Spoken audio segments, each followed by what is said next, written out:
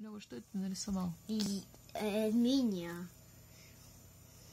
А что у тебя на голове? Это прическа. А почему она такого цвета? Потому что меня погласили Кто? парикмахер. А ты хотел нарисовать полянку. Где она? Ой. Ты забыл? Угу. Тоже выбрал поляну.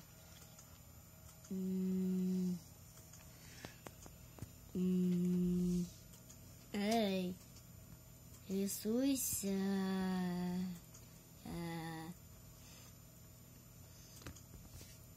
Ты где-то нашел совсем толстые линии. мгм.